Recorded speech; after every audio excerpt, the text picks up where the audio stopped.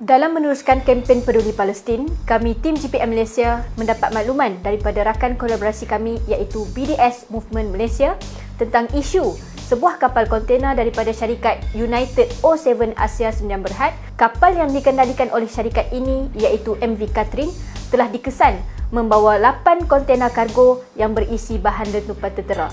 Kapal ini dipercayai sedang dalam perjalanan menuju ke Bar di Montenegro dan dijangka tiba pada 27 September. Destinasi akhir bagi bahan letupan ini adalah di Israel.